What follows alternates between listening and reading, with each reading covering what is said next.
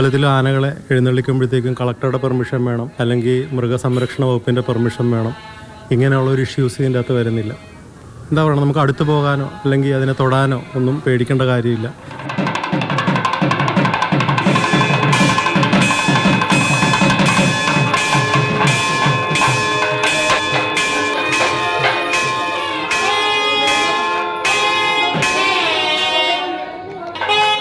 ക്ഷേത്രം ഒരു മുന്നൂറ്ററുപത് നാനൂറ് വർഷത്തോളം പഴക്കമുള്ള ക്ഷേത്രമാണ്. കറക്റ്റ് റെക്കോർഡ്സ് അവൈലബിൾ അല്ലെങ്കിലും. അപ്പോൾ ആ കാലത്ത് തന്നെ ഉണ്ടായിരുന്നതായിരിക്കണം ഇത്.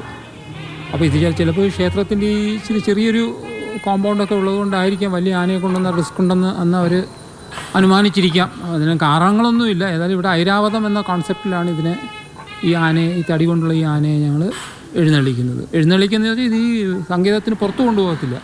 ഈ അമ്പലത്തിന് ഈ ചുറ്റമ്പല ചുറ്റമ്പലത്തിന് മാത്രം ചുറ്റി ഭഗവാനെ അതിലിരുത്തി കൊണ്ടുപോകുക എന്നുള്ളതാണ് അതായിരിക്കണം. അല്ലാതെ വേറെ പ്രത്യേകിച്ച് കാരണങ്ങളും റെക്കോർഡ്സ് ഒന്നും അവൈലബിൾ അല്ല.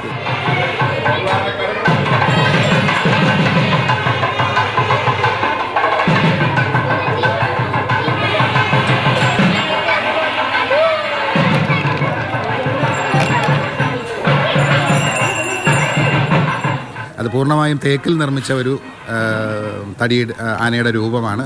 അതിന് ഈസി ആയിട്ട് നടക്കാനായിട്ട് ഇരുമ്പിന്റെ ചക്രങ്ങളും ഭഗവാനെ ഇരുത്താനായിട്ടുള്ള അതിന്റെ തിടമ്പേറ്റാനായിട്ടുള്ള സംവിധാനങ്ങളും ഒക്കെ ഒരുക്കി ഒരുക്കിയിട്ടുണ്ട്. എന്റെ ചെറുപ്പം മുതൽ ഇതുപോലുള്ള ഈ ആനയെ എഴുന്നള്ളിക്കുന്നത് വർഷത്തിൽ വെറും ഈ ഉത്സവ സമയങ്ങളിൽ മാത്രമാണ്. അപ്പോൾ അതുകൊണ്ട് തന്നെ അപൂർവതയാണ് ഞങ്ങൾക്കും കുഞ്ഞുനാളിലെ ഓടി വന്ന് ഇതിന്റെ പുറത്ത് കയറുക ഒക്കെയുള്ള നല്ല മധുരമായ ഓർമ്മകളാണ് നമുക്ക് ഈ ആനയെക്കുറിച്ച് അല്ലെങ്കിൽ ഐരാവതത്തെക്കുറിച്ച് പറയുമ്പോൾ ഓർക്കാൻ.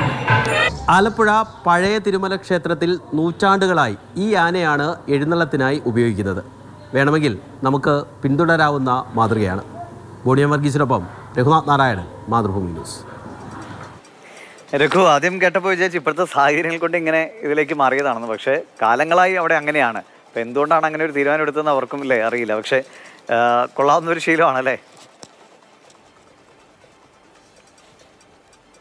അതെ ദേവിശ് അവർക്ക് ലഭ്യമായ റെക്കോർഡുകൾ പ്രകാരം മുന്നൂറ് വർഷത്തിലധികം പഴക്കമുണ്ട് ആ ക്ഷേത്രത്തിൽ. അവരുടെ ഒരു ക്ഷേത്രമുണ്ടായി അവരുടെ ഒരു ഭരണ സംവിധാനം ഉണ്ടായിട്ട് മുന്നൂറ് വർഷത്തിലധികമായി. ഈ അവിടെയുള്ള പ്രായം ചെന്ന ആളുകളുടെ ഓർമ്മയിലെല്ലാം തന്നെ ഈ ഐരാവതം അല്ലെങ്കിൽ ആനയാണ് അവർ എഴുന്നള്ളത്തിന് വേണ്ടി ഉപയോഗിക്കുന്നത്. അതൊരു ദിവീഷ് പറഞ്ഞതുപോലെ തന്നെ പ്രത്യേകിച്ച് ഈ നാട്ടാനകളൊക്കെ വലിയ രീതിയിൽ അക്രമ സ്വഭാവമൊക്കെ കാണിക്കുകയും നാട്ടാനകൾ വിരണ്ടോടുകയും എന്ന് മാത്രവുമല്ല നാട്ടാനകളെ എഴുന്നള്ളിക്കണം. ഒരു ഉത്സവം നടത്തുന്ന ആളുകൾക്കറിയാം അതിന്റെ ബുദ്ധിമുട്ട്. എന്തെല്ലാം രീതിയിലുള്ള എഴുത്തുകുത്തുകൾ വിവിധ വകുപ്പുകളുടെ അനുമതികൾ ഒക്കെ വേണം. എന്ന് മാത്രവുമല്ല ഞാൻ ദേവീഷ് ഇൻട്രോ വായിച്ചതുപോലെ തന്നെ എപ്പോഴും ഈ ഒരു ക്ഷേത്ര ഭാരവാഹിയുടെ നെഞ്ചിൽ വല്ലാത്തൊരു ഇടിപ്പാണ്. കാരണം ആനയെ കാണുമ്പോൾ സ്വാഭാവികമായി തന്നെ നമുക്ക് എല്ലാവർക്കും കൗതുകമാണ്.